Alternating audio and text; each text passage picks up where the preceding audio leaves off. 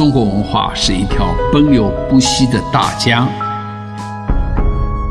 而不是江边的枯藤老树昏鸦。你好，我是余秋雨，欢迎收听秋雨书院必修课程。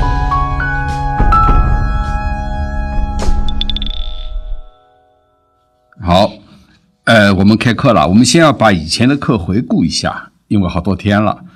呃，大家记得吗？有两个重要的前言讲到了文化的非常独特的重要性。然后我们进入第一单元，第一单元的题目叫做文化的定义。后来我们进入了第二单元，第二单元的题目叫做中国文化的世界身份。好，那么在第二单元里边呢，我们已经完成了五个方面的论定，这我们需要复习一下。第一方面的论定是，中国文化在人类四大古文化当中占据一席。第二方面的论定是，人类四的四大古文化是由于年代、原创性和影响力来确认的，因此只有四大，没有五大或者六大。第三方面的论定是，中国文化进入成熟文明的门槛的时间是公元前二十一世纪。这在四大古文化当中排序是第三或第四，我们本课程呢暂定为第四。好，第四方面的论定是中国文化在进入文明门槛的标准啊，符合世界的统一标准，那就是青铜器的出现、制度的建立、文字的创造。第五方面的论定是人类四大古文化当中，其他三大都渐渐的中断或者湮灭了。只有中国文化成了唯一的例外，也就是由第四变成了唯一。啊，这五方面的论定，大家能记下来吗？我相信这个复习一下有一点好处，可以把我们下面的内容顺下去了。这五方面的论定啊，最关键的是最后一个论定，就引出了一个世界级的巨大的悬念。这个什么悬念呢？就是第四。是怎么一步步的变成唯一的？那么这是一个经历了四千多年的一个漫长的过程。这个过程如果连起来呢，就是一部完整的中国文化史。但是我们不想讲的太完整，只想看一看，在每一个危险的段落、关键的道口，在人家一一失踪的地方，中国文化是怎么走下来的？在最不可越过的地方，居然越过去了。在最容易死亡的地方，居然没死，一次两次倒也罢了，整整四千年都是这样，这就是中国文化的世界身份发生了根本的变化。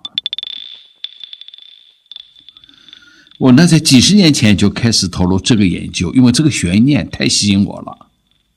渐渐发现，中国文化在一个个。险境当中闯关的历史，其实也就是他的一次一次的重生史，结果又成了他世界身份的提升史。世界身份就这么一步步提升起来的，由第四变成唯一，也是这么过来的。下面呢，我们就需要系统的梳理一下中国文化的这个世界身份提升史了。这大概有好多台阶，八个台阶，九个台阶吧，让我一一道来。我们先讲第一个台阶，叫做奠基时代的中国文化。这个地方呢，稍微有一点深，大家稍稍呃用一点脑力。我再讲一遍，叫奠基时代的中国文化。那遇到一个问题，叫什么叫奠基时代？奠基时代，我全称可以称之为人类精神文化的奠基时代。哎。为什么我们跨进文明门槛以后不就好了吗？为什么还有个奠基时代呢？是这样的，跨进文明的门槛就开始了文明的生活，但是进入了文明的生活，并不一定已经获得了精神自立。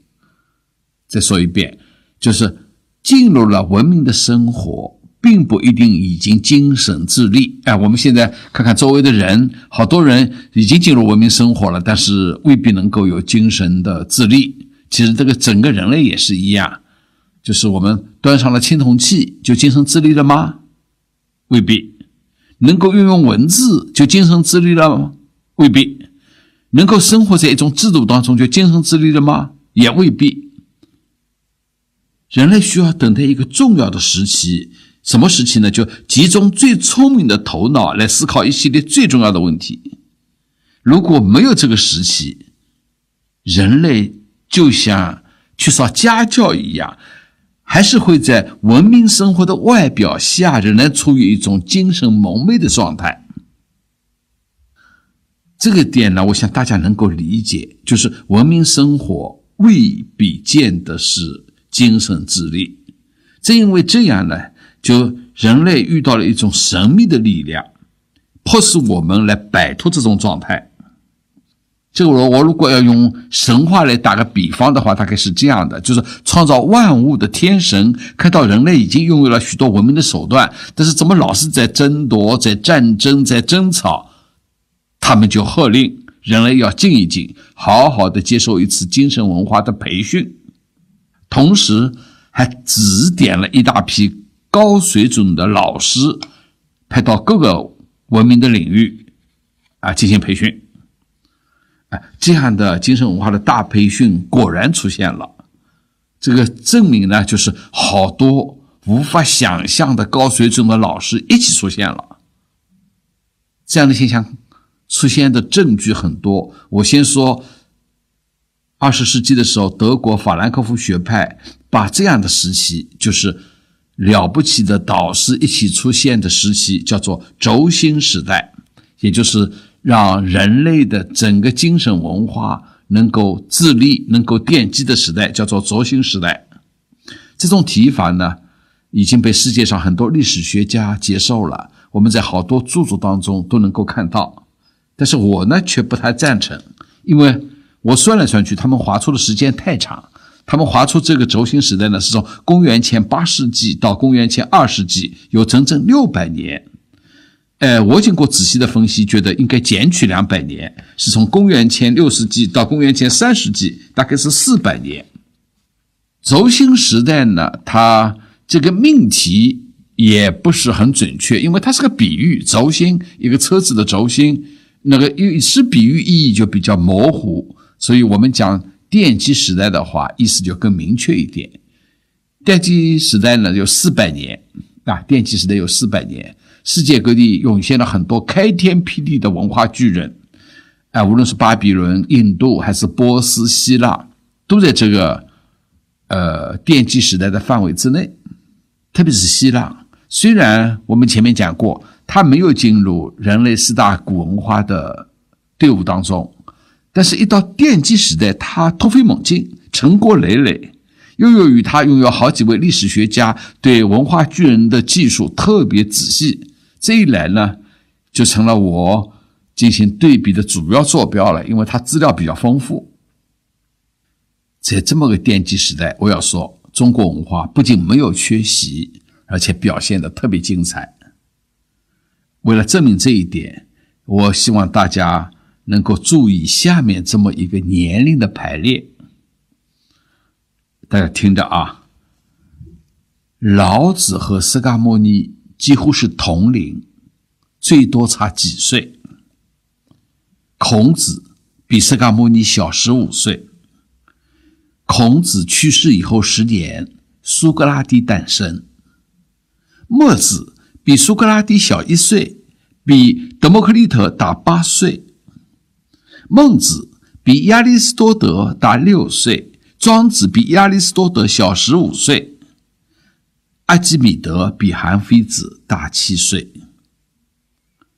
这实在太奇怪了！这么多伟大的巨匠，为什么会同时产生呢？而且还有巧事，你看，就在孔子自称知天命的五十岁左右，巴比伦的天文学家也正好在知天命，他们在天文学上获得了重大的发现。我不知道大家听了这个年龄排列以后会有什么感觉？在那么漫长的历史上，这些文化巨人几乎同时出现在世界上。他们很像是一起接到了一个同一个指令，而且手拉着手并肩下凡。只不过在云端告别，去了世界上不同的地方罢了。我前面说中国文化没有缺席，不错吧？记得法兰克福学派在论述这个奇迹般的时代的时候，着重举出的例子就是中国的孔子、老子、墨子和庄子。在人类精神奠基的伟大工程当中，占据了那么大的份额，那就进一步夯实了中国文化的世界身份。啊，这句话我再说一遍啊，因为中国文化在人类精神奠基的伟大工程当中占据这么大的份额，那么它的世界身份毫无疑问是进一步夯实了。这个现象不仅让我惊叹，而且让我感动，因为当时的中国大地充满着战乱和阴谋。按照庄子的说法，就是天下大乱，贤圣不门，道德不一。在这种情况下面，照理是出不了什么大文化的，最多出一点非常琐碎的应急文化、避祸文化。大文化需要对天地人生做终极思考。哪里会有人在兵荒马乱当中做这样的终极思考呢？但是怎么也想不到，这片土地上居然真的在战火离乱当中出现了一批伟大的精神导师。随着他们的身影，中国文化一下子走向了高贵，而且是世界级的高贵。我非常想让今天的年轻人更多的了解他们，因为他们比我们所有的人都厉害。而且，他们又决定了我们成为我们。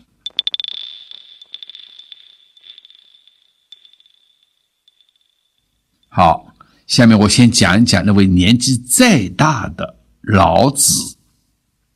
老子是让中国文化获得世界身份的最高代表。这我需要再说一遍：老子是让中国文化获得世界身份的最高代表。由于我前面在排年龄的时候，把希腊哲学家和中国哲学家放在一起做对比，因此我在一九九九年十月六号特地到希腊雅典去访问了雅典人文学院的比较哲学博士贝尼特女士。她原来呢是立足希腊古典哲学，后来到意大利学东方哲学。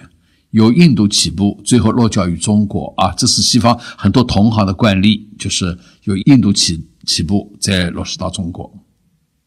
他深入的研究了中国哲学，特别深入的研究了中国的孔子、老子、庄子和易经，最后得出结论：老子是最符合国际标准的顶级哲学家。啊，那整个下午我在他家里。啊，有非常长又非常充分、非常愉快的交谈。他家里还放了很多很多从中国拿回去的假文物，他不断告诉我这是假的，但是我一看有几件好像是真的。呃，贝尼特博士对老子这样的评价呢，其实还有一系列国际间的统计数字，能够更进一步的说明老子的重要性。好，请大家看这样的一些统计数字。据联合国教科文组织的统计，世界上几千年来被翻译成外文而且广泛传播的著作，第一是《圣经》，第二就是老子。据《纽约时报》公布，经过评选，人类古往今来最有影响力的十大写作人，老子排名第一，第一啊！还有一项统计，世界各国中被公认哲学素养最高的德国，《老子》这本书几乎每家一册，这个比例远远的高出老子的家乡中国。就凭这些统计，说老子是中国文化的世界身份的最高代表，我想一点也不过分吧。但是这中间有一件事情很过分。就是这位最高代表，这位世界顶级的哲学家，他的全部著作只有五千个字，而且他的生平又是扑朔迷离，连司马迁都说不清楚，那就只好让后人自由想象了，而且这好像是老子本人的故意，他就是要把自己的身子引起来。你们想象，随便你们想象吧。好，那在很多人的猜测和推理当中，就出现了一些非常有印象的情景。几千年来，所有的中国文人都在这个情景当中设想着我们最早的精神导师老子。那一天，年迈的老子穿了一件黄衣服，骑了一条青牛，背了一只布口袋，要过函谷关到远方去。他去做什么？好像不做什么，因为他认为人就像水，应该向低处流。然后渗透于沙漠，蒸发于旷野，这就是生命的大道。他想到函谷关外面，把自己蒸发掉。